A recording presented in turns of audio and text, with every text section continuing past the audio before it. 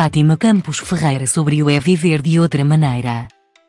Ponto e vírgula Fátima Campos Ferreira foi uma das convidadas de Manuel Luiz Goxa, esta segunda-feira, na TVI, e falou sobre o marido.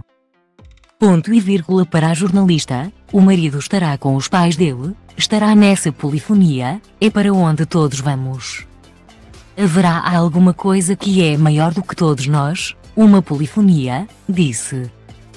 Ponto e vírgula é viver de outra maneira, é pensar que a vida continua até um dia, portanto. É continuar o resto que me falta, afirmou Fátima Campos Ferreira, referindo que não tem medo da morte. Esse dia está definido para todos nós. Quem é que vai ter medo de uma coisa que está no caminho de toda a gente? É evidente que há um choque tremendo.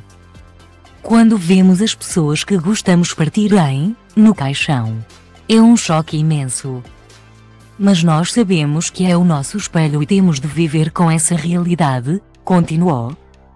Ponto e vírgula Fátima Campos Ferreira disse ainda que não está sempre a pensar na morte, mas que já sabe que isso é assim, agora. Vou viver. Temos de viver, plantar a semente que o meu pai e a minha mãe plantaram em mim e nos outros. Porque isto é uma comunidade. Isto é uma maratona. Temos de ir passando os testemunhos uns aos outros com esperança. Ponto e vírgula isto não acaba aqui, isto vai continuar de alguma maneira e, mesmo que isto acabasse aqui, o meu infinito são os olhos do outro e é para eles que quero trabalhar existir. Quero existir em rede, finalizou a jornalista, referindo que o seu marido incentivou a escrever o livro que agora vai ser apresentado. Ponto e vírgula esta quarta-feira, Fátima Campos Ferreira vai fazer uma sessão de apresentação do seu livro O Infinito está nos olhos do outro.